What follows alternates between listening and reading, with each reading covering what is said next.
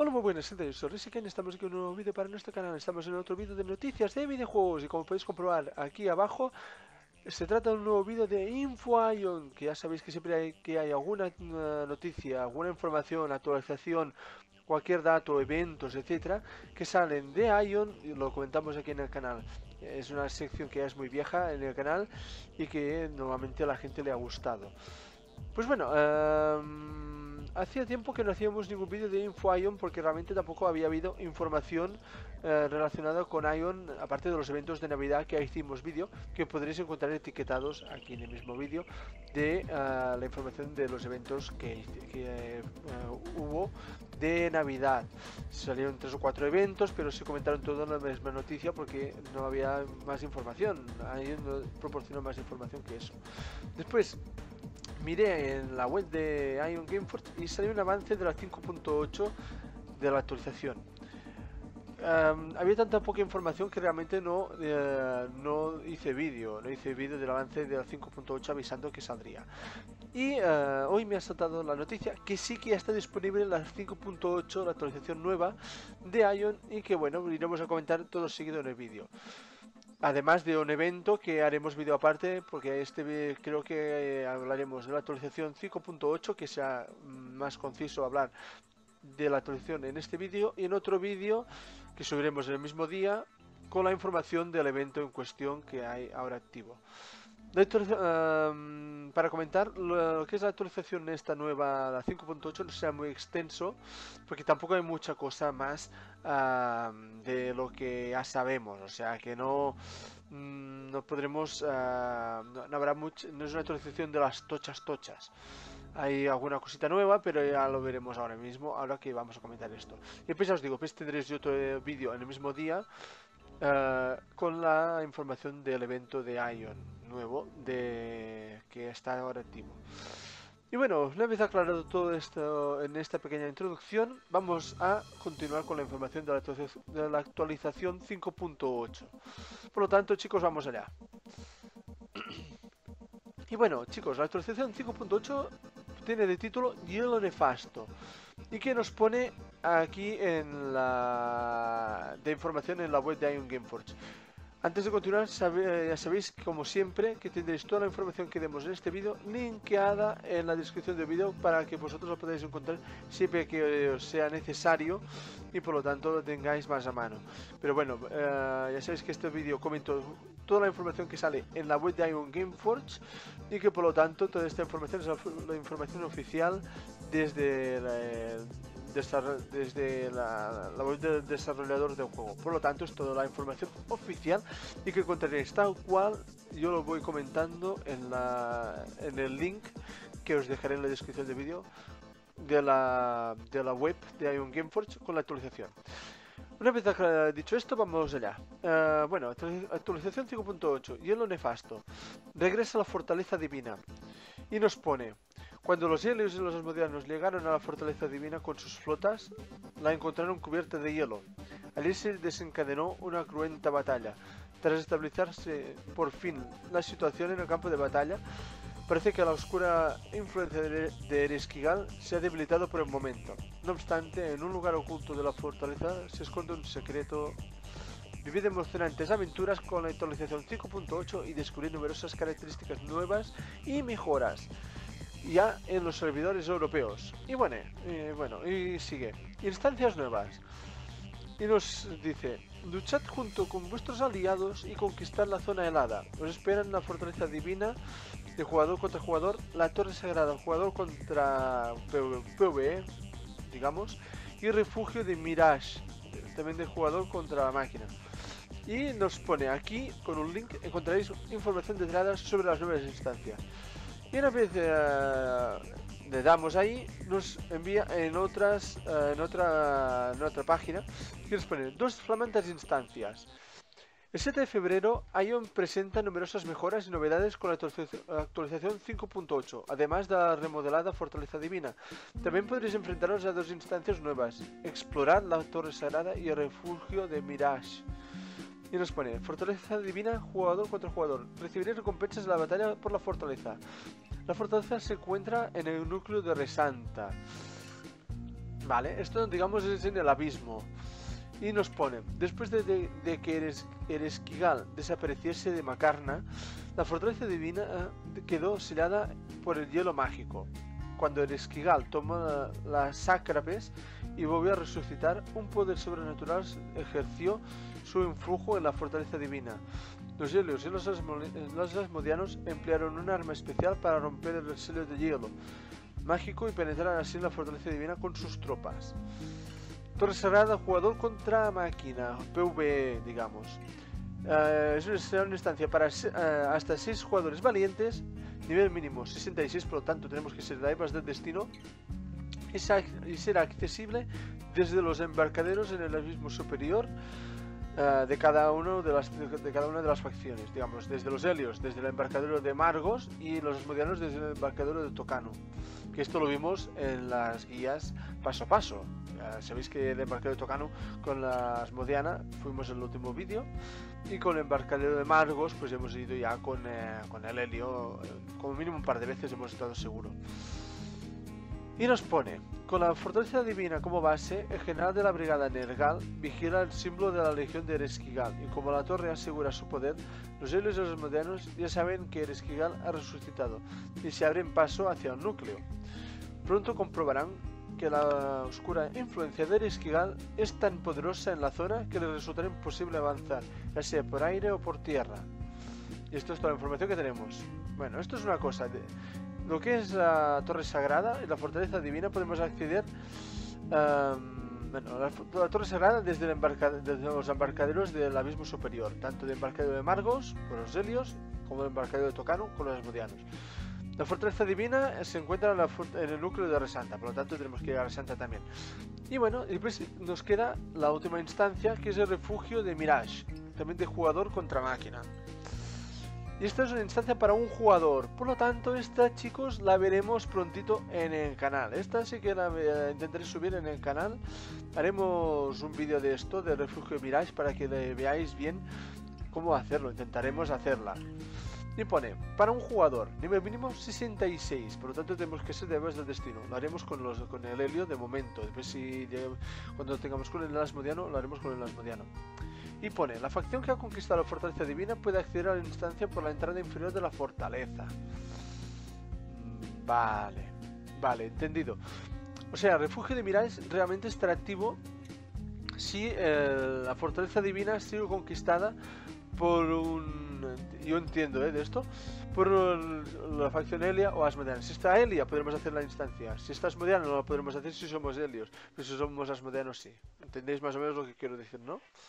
O sea, solamente podemos hacer si nuestra facción ha conquistado la fortaleza divina. Yo entiendo de esto, ¿eh?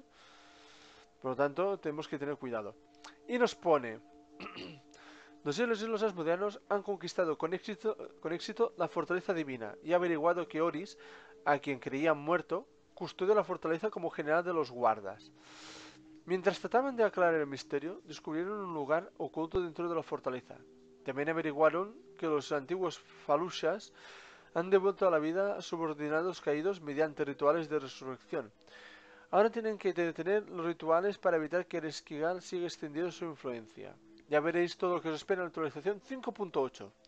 Bueno, esto es toda la información de las dos instancias que nos han, de las instancias nuevas que nos han dicho, que realmente son tres, ponían dos y son tres, que es la fortaleza divina, la torre sagrada y el refugio de Mirage. Bueno, después de todo esto de las instancias nuevas tenemos otra nueva característica que es más ranuras de estigma y nos ponen aún más poder, colocando estigmas mejorados en las ranuras de estigma y desbloqueando una séptima.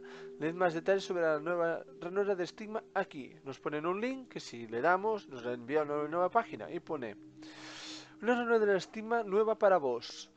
La próxima actualización 5.8 os otorga aún más poder. Equipad a vuestro personaje con una nueva ranura de estigma y haced que vuestros adversarios tiemblen de miedo y nos pone, para utilizar la runa de estigma, abrid la ventana de estigma y comprobad en el globo de ayuda que estigmas en vuestro poder todavía se pueden mejorar. Una vez hayáis equipado eh, las seis ranuras de estigma con los estigmas mejorados correspondientes, se os desbloqueará la séptima ranura y seis más fuertes que nunca. Vale. Por lo tanto, no solamente tenemos que tener los seis huecos de estigma eh, ocupados, sino que tendremos que tenerlos con los estigmas mejorados. Tenemos que mejorar los estigmas. Y una vez eh, hecho esto, tendré, se nos, nos desbloqueará la séptima ranura. Una séptima ranura con otro estigma nuevo. Por lo tanto, bien. Está bastante bien. Una mejora, una pequeña mejora. A falta saber lo que nos costará mejorar los estigmas. Y pone, más, más sobre la actualización 5.8. Además de las novedades, la actualización trae varias mejoras a vuestro juego favorito. Si queréis saber más, leed las notas de parche. Y bueno, esto de las notas de parche es un documento que en este caso son 25 páginas que las podéis ver bastante. nos cuentan todo lo de las instancias. A ver si podemos mirar alguna cosita más. Eh, porque nos salen todas las informaciones de las instancias que hemos comentado un poquito, las tenemos más información así por encima. Eh, hay mucha información, hay muchísima información de todo esto. Cambios de la torre de desafío, uh, se ha solucionado un error que impedía que la excusa exterior del bastión de muración se destruyera correctamente. Bueno, varias mejoras en el juego, Abismo, la fortaleza divina hasta ahora vuelve a estar abierta tras su renovación. Tenemos varias, varias información, además de todos los horarios de conquistas, etcétera, etcétera. Todo esto es muy largo, son 25 páginas.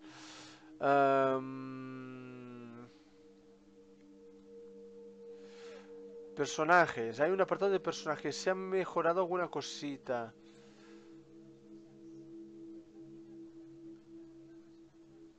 Vale. Si tenemos varias cositas, hay mucha información, ¿eh? Realmente. Podemos en caso comentar la de que nos influyen en personajes que, por ejemplo, pone... Esto es la nota de parche, esto es una actualización, toda la información que está metida en la actualización esta. Y dice, se ha añadido la función sanar el alma. Gracias a ella, además de sanar el alma, se restablecerán los puntos de vida y los puntos de, eh, los puntos de maná. Esto conlleva costes adicionales. Esta función no podrá utilizarse en aquellos casos en los que no se disponga de puntos de experiencia que puedan restablecerse. Vale. bueno, hay varias cosas más, más tema de habilidades, uh, libro de monstruos se ha mejorado también, pero todo, uh, se ha modificado el aspecto de pase de estrella, ahora lo han cambiado es más como un estilo pasaporte, con los sellos que se ven mejor, una ventanita más, más bien diseñada. Mm, y no, poquita cosa más. No vamos a comentar nada de esto de, de, las notas de parche porque no, no hay nada más interesante. Hay mejoras y tal, han modificado alguna cosita, pero no es una mejora tocha tocha. Y nada chicos, todo esto que hemos dicho en este vídeo lo encontraréis, ya sabéis, como siempre, linkada en la descripción del vídeo, que es el enlace a la web de Ion Gameforge. Por lo tanto, toda esta información que hemos dado, si la queréis ver siempre que queráis, la podéis consultar en el link que os dejaré en la descripción del vídeo. Y nada chicos, hasta aquí toda la información que tenemos de la actualización, de la actualización 5.8, no tenemos regiones nuevas, que yo creo que sería necesario meter como mínimo dos mapas nuevos, creo que estaría muy bien porque la gente, yo mismo, ya veis que tampoco estoy subiendo mucho ahora Ion, mm, es que he jugado mucho, mucho, mucho Ion y también necesitaba desconectar un poco del juego, había jugado mucho, mucho Ion, muy seguido y eh, después tenía otros juegos para pasarme y, intento hacer vídeos siempre que puedo, pero también a veces me cuesta meterme, sobre todo cuando estás a niveles máximos, siempre repetir lo mismo que vais viendo ya. Pero bueno, seguiremos, nosotros seguiremos aquí con Ion, ¿eh? No, ya sé que llevamos una semanita ahora que no he subido vídeo, pero es que entre que me encontraba mal, la conexión me va un poco mal, no he tenido tiempo de subir Uh, no he tenido tiempo de jugar a Ion, o sea, realmente he tenido poco tiempo. Pero bueno, tendremos, veremos, continuemos subiendo contenido de Ion porque es una de las bases del canal y es una serie de las más, es la más antigua que tengo, la de Ion, la guía paso a paso. Tenemos que hacer guías de personajes que lo he dicho muchas veces que lo, que lo tengo que hacer en el canal y lo haremos. Pasa que tengo que mirar de coincidir con amigos para, digamos, eh, que os explique en plan maestro, ¿no? Eh, digamos, mejor que lo que pueda explicar yo mismo con personajes que no he usado, yo puedo explicar mucho el cantor, aunque no sea un experto experto, que hay, seguro que hay muchos que me superan de muchísimo más que yo, pero bueno, para salir del paso, para defenderse, pues sí que sé algo, ¿no? Es mi, es mi main, el cantor. Y Templario también lo puedo explicar un poco cómo funciona, sobre todo para tanquear, porque nuevamente tanqueado bastante bien cuando he ido de Templario, me lo han dicho, o sea que de eso. Eh, el bardo también lo he usado, pero no soy un experto en bardo. Tengo una amiga, una compañera que es la que lo hace muy bien. Me gusta mucho cómo juega y le comentaré a ver si nos puede aquí hacer una masterclass de, de, bardo para que todo el mundo sepa más o menos las funciones, si le puede interesar.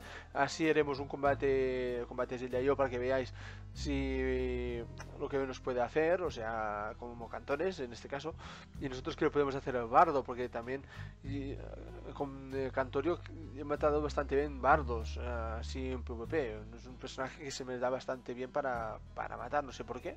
Se me han dado bien los, los bardos, o sea que, bueno, todo esto estará aquí en el canal seguro, seguro. Y nada chicos, ya sabéis, si os ha gustado el vídeo dadle like, si no tenéis dislike, suscribiros al canal y darle a la campanilla para que YouTube os avise cuando voy subiendo vídeos y cualquier duda, cualquier comentario, dejáis en los comentarios del vídeo y os intentaré responder lo más rápido posible. Y chicos, emplazaros a que estéis atentos hoy mismo en otro vídeo que comentaremos lo que es uh, el evento nuevo de Ion en el día de información de Ion, el día 8 de información de Ion, que hacía tiempo que no teníamos en el canal. Y ahora sí chicos, ahora sí que me despido, nos vemos en el próximo vídeo, disfrutad mucho de los videojuegos. Hasta la próxima.